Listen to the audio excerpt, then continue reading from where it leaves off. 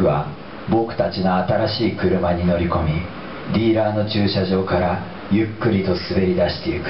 新車の匂いに包まれて笑顔のディーラーマンに見送られそして隣には大好きな君。いい車だね君は言う。広くて乗り心地が良くて。そうだね僕は言う。運転しやすくてとってもいいね。僕たちの新しい車は四角くて背が高くて大きくて静かで涼しくて暖かくてステアリングはとっても軽く足元にはクラッチさえもない。バックミラーに映る。この車と引き換えに置いてきた。僕の古いオープンカーよりも何もかもがずっと素晴らしい。この僕たちの新しい車。僕たちの古いオープンカーは日曜の日だまりの中に寝そべる黒い猫のようにディーラーの工場の入り口にうずくまっている。これですと下取りは限界があります。笑顔のディーラーマンが言った。仮想工ですし各部の程度もよくありません。けれども今月中にご制約いただけるならある程度上乗せさせていただきます。ある程度上乗せさせていただきます。僕は僕たちの新しい車を国道の流れに乗せてゆく。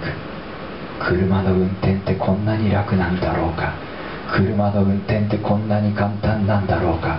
まるで現実のことじゃないみたいだ。空飛ぶ絨毯に座ってるみたいだ。いい車だね。君が言う。本当にいい車だね。そうだね。僕は言う。とってもいい車だね。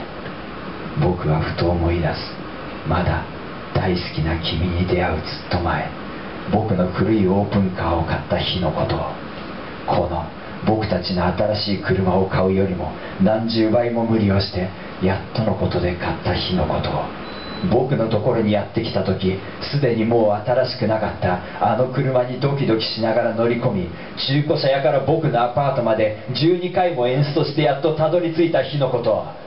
運転にやっと慣れてきた頃炎を全開にして満開の桜の花並木の下を走っていたら花びらと一緒に毛虫がボロボロと車の中に落ちてきた日のこと女子校の横の道を走っていたらシートの高さが低いせいで歩いている女の子たちの制服のミニスカートの中が丸見えでなんだかいたたまれなくなって慌てて脇道にそれてしまって俺って気が弱いなと思ったこと。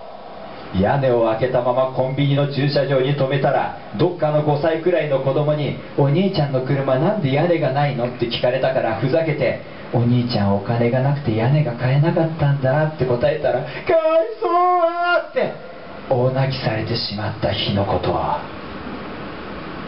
ねえ大好きな君の声に僕はふと現実に戻る途中で運転変わってねこの車なら私にも動かせそうだから。うん。僕は言う。適当なところで変わろう。運転しやすそうだね。君ははしゃいだ声で言う。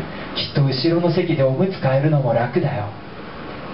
赤信号に差し掛かり僕は車を止める。一瞬目を閉じてまた開くとルームミラーの中の後部座席にチャイルドシートとその中に眠る赤ちゃんの姿が見えるような気がする。そのイメージが消えると今度は杖をついて乗り込む僕の両親と君に支えられて乗り込む君の両親の姿が見える。信号が青に変わり僕は車をスタートさせる。僕の古いオープンカーの姿がバックミラーからゆっくりと消えてゆく。悲しくて寂しくて僕は君の手を握りしめる。どうしたのよ？君は笑いながら言う。何突然？小さく柔らかくそして冷たい。ここで2足。アクセルを踏み込みながら僕は声を出さずにつぶやく。ここで3足。ここで4足。僕は右足でアクセルを床まで踏み込む。ワンテンポ遅れて僕たちの新しい車は日曜の太陽の中へまっすぐ加速する。眩しいね。君が言う。すっごく眩しいね。うん。眩しいね。太陽は本当に眩しかった。何もかもが色も形もなくなってフロントガラスの前に広がる世界が一つに溶けていってしまうように。